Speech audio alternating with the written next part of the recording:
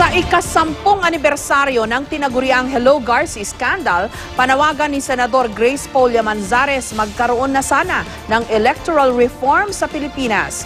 Dapat na rin daw amyendahan ang anti-wiretapping law para payagan ang wiretapping sa mga sitwasyong may kinalaman sa dayaan sa eleksyon.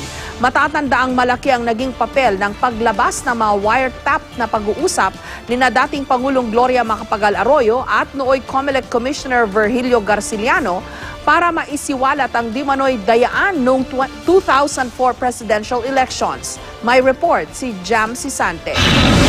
I recognize that making any such call was a lapse in judgment. I am sorry. You have stolen the presidency, not once, but twice!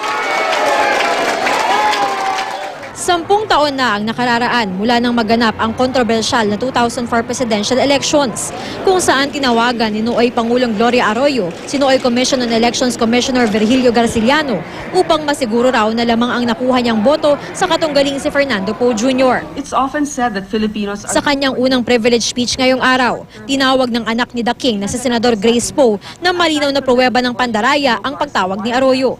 Hello. Hello, guys. Hello, ma'am. Good morning. O- Okay, ma'am. Mas mataas po siya, pero mag, uh, mag-compensate po sa lanaw yun.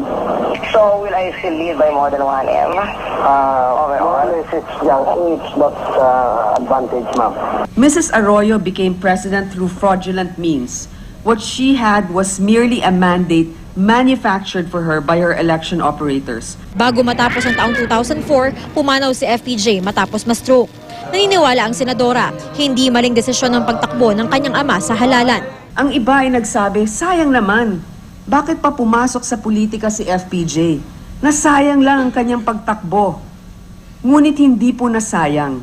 Ang ehemplong ipinakita ni FPJ tulad ng tunay na pagkalinga sa kapwa at dahil nga sa nangyaring dayaan, ang pagpapatunay na mahalaga ang bawat boto ng Pilipino. Ang running mate noon ni FPJ na si Senador Loren Legarda tumayo rin para alalahanin ang yumaong aktor. akala ko po naka-move on na ako.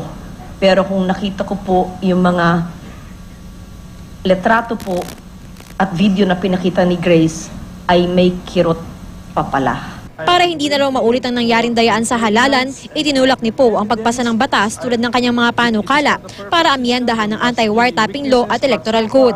Samantala, posible namang hindi na ituloy ng COMELEC ang investigasyon kaugnay sa 2004 Hello Garci scandal.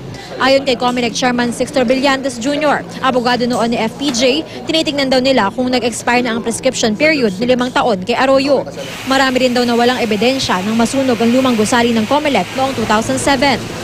Pwede raw itong i-reconstruct pero kailangan pang aprubahan ng Supreme Court. Jam Sasante, GMA News.